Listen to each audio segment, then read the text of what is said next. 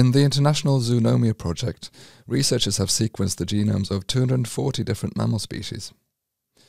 Professor Kerstin Lindblad-Toh started the project in 2015. In the Zoonomia project, we are trying to understand why mammals are so different. There are more than 6,000 species and they vary from the 2 gram bumblebee bat to uh, large whales which weigh many tons. By looking at the Zoonomia data, looking at the genomes of these species, we can start to understand why they are so different and why they have adapted to different environments. Matthew Christmas is another researcher in the group at Uppsala University.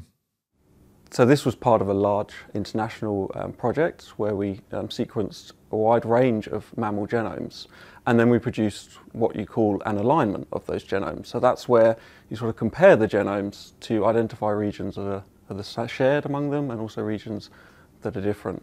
And we did that for 240 um, different species and those species represented over 80% of the mammalian families. So we managed to capture a huge amount of the diversity um, in mammals, and then we could use that alignment to, the, to uh, answer these questions that we wanted to answer about what's shared in these amongst all mammals, but also what are the different parts that have led to the diversity that we see amongst mammals.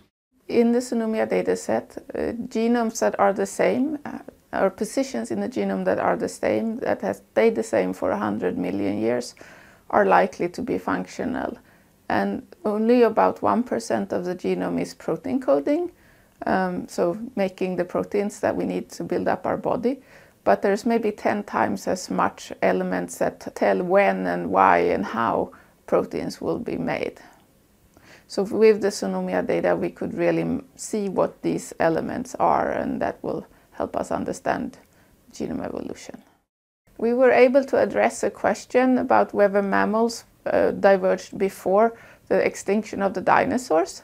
And our data shows very clearly that mammals started evolving before, while the dinosaurs were still around, and that they then continued to diverge when they got more space to evolve after the dinosaurs were gone. The researchers studied adaptation to different environments. So we could use our, our data set to really sort of look into particular characteristics of mammals and how they've evolved. So for example, how sense of smell varies across different mammal species. Um, brain size is another trait that we looked into because you see a wide diversity in, in brain sizes among mammals.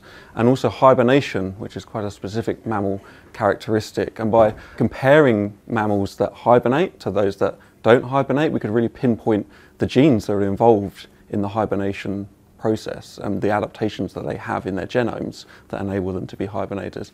For sense of smell, we could show that based on the number of um, genes that are involved in smell reception, um, we could show that, for example, elephants have um, one of the, the, strongest senses of smell amongst mammals, whereas something like um, toothed whales, like uh, killer whales or sperm whales, they live in an ocean environment they don't need a sense of smell, and we can see that in their genes. The Zoonomia project also tells us something about biodiversity and how to save endangered species. So genomics is a very important tool for biodiversity and conservation efforts. Um, what we could see was that the amount of variation in a genome is predictive of whether a species is likely to go extinct or not. And you can look at a lot of different parameters of the variation that you see and then help, help figure out which populations, for example, are the most likely to survive. So we've generated a humongous amount of data and it's all available for everybody in the world and they can look both at different types of mammalian evolution and also to use the information to understand human disease.